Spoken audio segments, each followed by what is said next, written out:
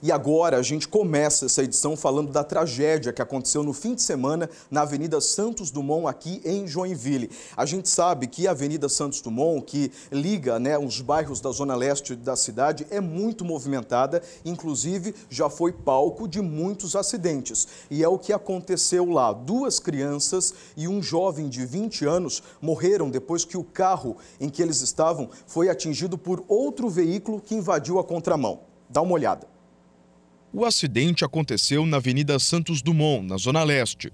Era por volta de duas e meia da tarde de sábado, quando o veículo em que estavam as três vítimas foi atingido por um carro de luxo que vinha no sentido oposto em direção ao aeroporto.